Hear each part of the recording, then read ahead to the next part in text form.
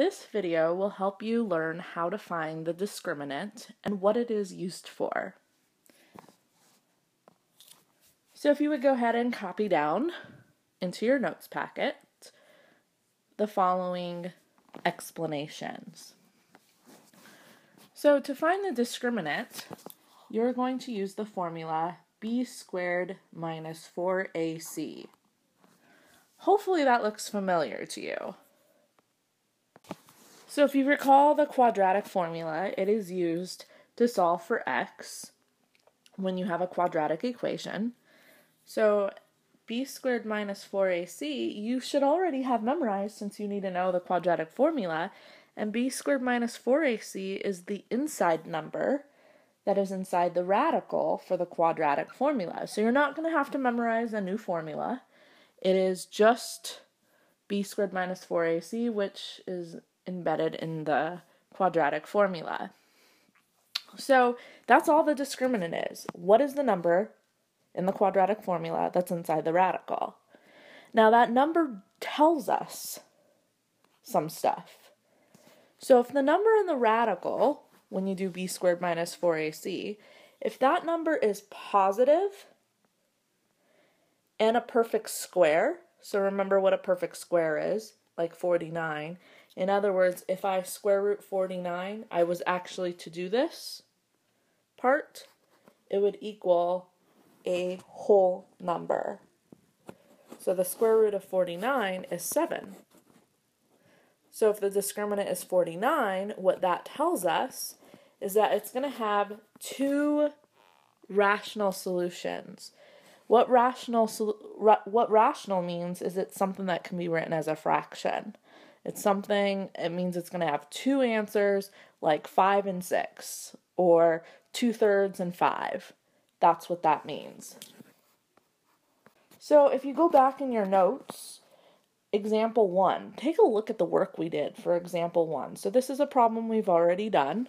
We use the quadratic formula and take a look at this. We ended up getting two answers, four and two, which are rational. They could be written as a fraction, like 8 over 2 or 4 over 2. Those are fraction forms of 4 and 2.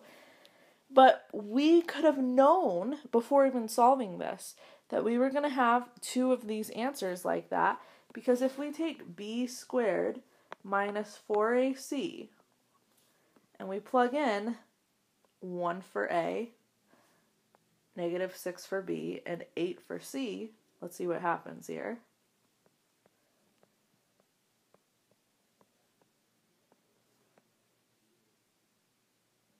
Oops. b is negative 6. Right here, negative 6. We would have 36, and then negative 4 times 1 times 8 is negative 32. We would get 4. So the discriminant is 4.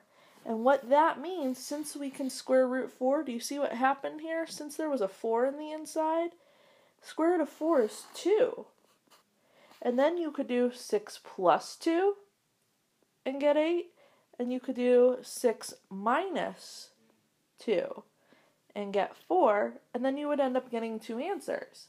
So because the discriminant was 4, it tells us that there's going to be two answers and they're rational.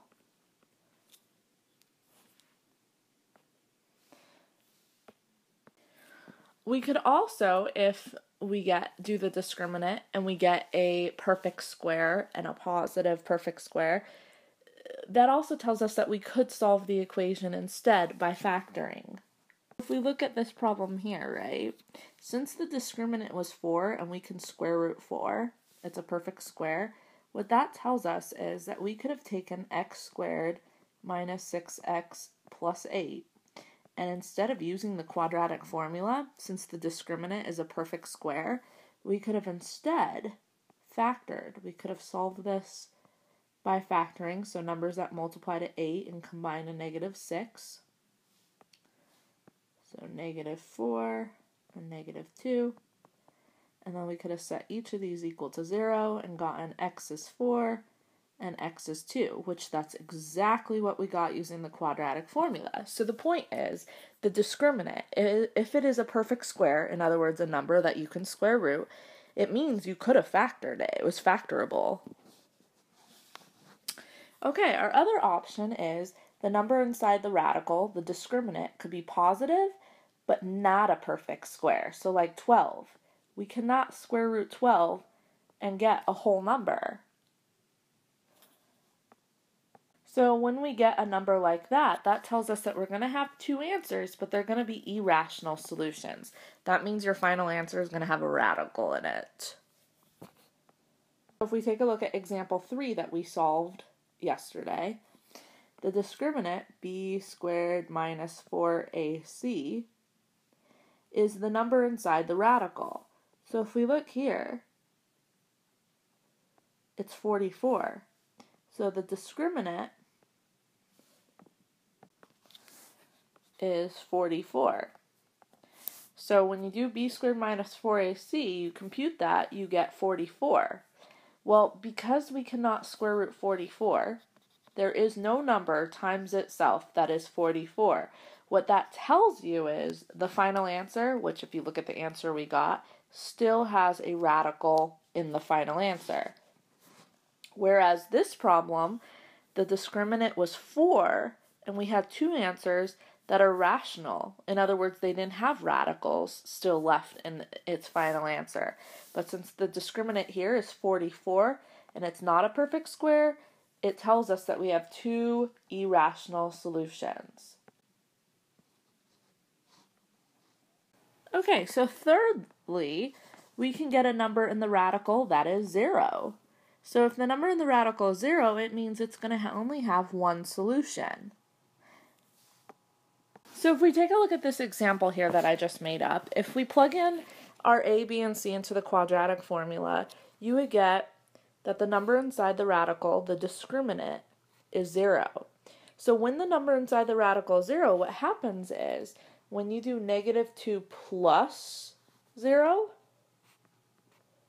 divided by 2, that's going to make negative 1 as a solution. Well, so negative 1 is a solution, but then when we do negative 2 minus 0, we get the same thing. We still get negative 1.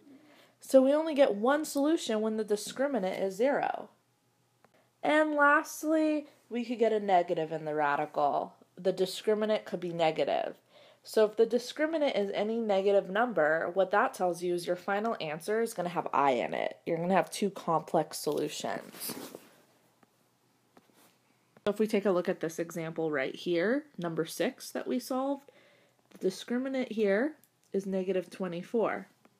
So since the discriminant is negative 24, when you square root it, you're going to have an i. So that tells you that the final answer, if you look here in our notes, has the I in, within the answer. Okay, so let's do some examples here. It says find the discriminant and use it to determine the number and type of solutions. So we write down to find the discriminant, we're going to do b squared minus 4ac. So a is 3, b is negative 5, and c is 6. So we're going to do negative 5 squared. And then plug in a and c. And negative 5 times negative 5 is 25. And then we'd have negative 4 times 3 times 6. That would be negative 72. And then we'd have 25 minus 72, which is negative 47. So the discriminant is negative 47. So if that number was inside a radical, that would mean that our final answer is going to have 2. And then the, if you were to simplify this, it would be I rad 47. So that means the final answer, if you were to solve it with the quadratic formula, would have I within the answer. So we're going to have two complex solutions because the discriminant is negative. Okay, so let's take a look at this example here. First of all, we need to have it in standard form. We need to make it equal zero, the equation, to identify what the a, b, and c values are. So we're going to go ahead and subtract 6 to both sides. Then we'd have 7x squared plus x minus 6 equals 0. So our a value will be 7, our b value is 1, and our c value is negative 6. So now we're going to plug in our values into the formula for the discriminant. And now we're going to evaluate. So 1 to the second power is 1. A negative times a negative is a positive. And then 4 times 7 times 6 is 168. And then 168 plus 1 is 169. So the discriminant is 169. And what that 169 tells us, since we could square root that number and get 13, because 13 times 13 is 169, what that tells us is that the answer, it will not have a radical in it, because we were able to get rid of it, because the square root of 169 is 13. So what that's called is we're going to have two rational solutions.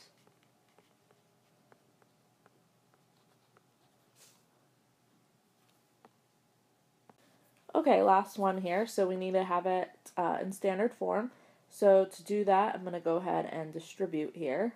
So 4x squared plus 8x equals 7. And then I'm going to make it equal 0 by subtracting 7 on both sides.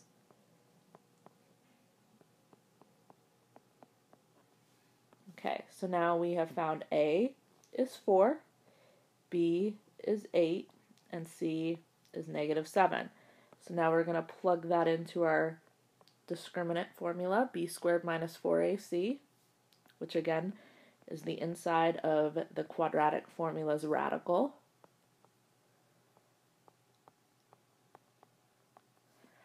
So we have 8 to the second power 64. A negative times a negative is a positive. And 4 times 4 times 7 is 112. That's 176. So the discriminant is 176.